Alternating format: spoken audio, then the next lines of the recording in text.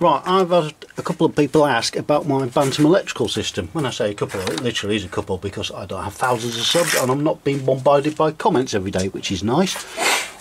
I've got the electric system in there. Uh, when I got the bike, it was a box of bits.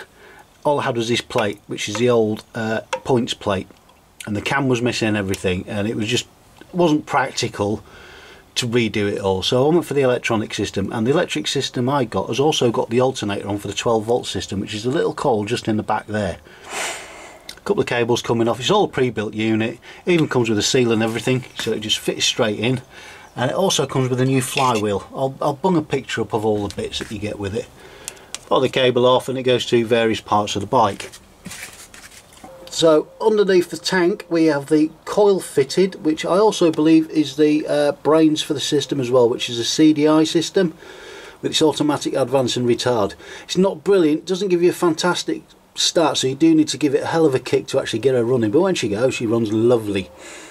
This is my little battery box which is bolted to a bit on the frame that I welded on. I know the Bantam Owners Club are going to hate me for that but to be honest I don't care.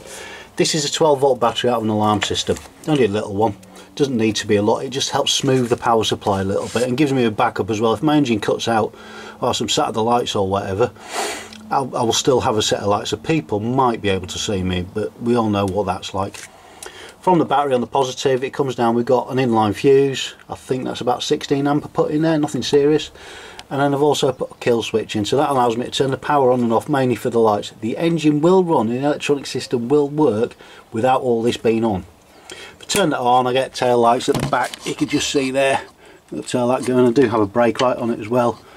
You can't see that working very well because it's not very dark in here. These two yellow wires coming from the electrics unit actually go down to the rectifier regulator which I've bolted underneath so that gives us our rectified DC supply of 12 volts from the AC coming from the alternator now I've got various switches and things. One thing I have also put on, key switch there, that puts the CDI to earth. So if I turn that on, you cannot start the bike on the electronic system. It's basically to stop somebody wandering up, just coming up, kicking the bike up and buggering off down the road because they won't be able to start it. It ain't going to stop them from picking it up and stealing it if it's not bolted down, but it's something, it helps. On the headlight, all I've got is a simple switch for high and low beam.